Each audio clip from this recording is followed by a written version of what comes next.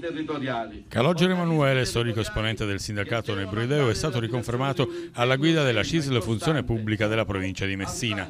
La rielezione del sindacalista di Galati Mamertino è avvenuta questa mattina all'Hotel Europa nel corso del quinto congresso provinciale nel quale si è parlato di pubblica amministrazione, servizi sociali, welfare e riordino della sanità. Per Calogero Emanuele l'impegno ad affrontare un ulteriore quadriennio ricco di sfide delicate ed importanti.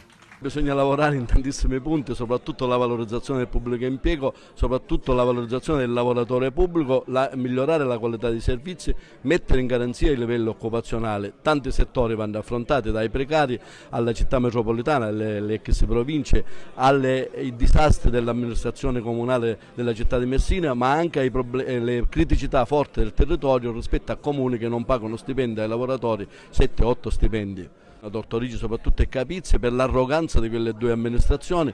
Oggi a Tortorici il comune è stato dichiarato eh, in dissesto, abbiamo rapporti con i commissari, vogliamo superare questo gap. Non è possibile che in una comunità di 6.500 abitanti con 150 lavoratori dipendenti da 8 mesi non percepiscono stipendio, capite l'indotto per una comunità qual è.